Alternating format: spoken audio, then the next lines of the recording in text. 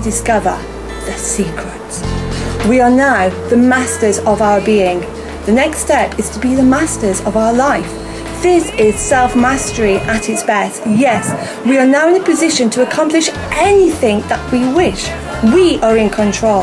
Our eyes are wide open and we walk in our sleep no more. Being conscious and aware makes us the perfect match to use a power that will come to our aid. Now we get to plan our life by design through the power of intention, gratitude, and action. We're now vibrating at the right frequency, so get ready to be blown away and experience life working with you.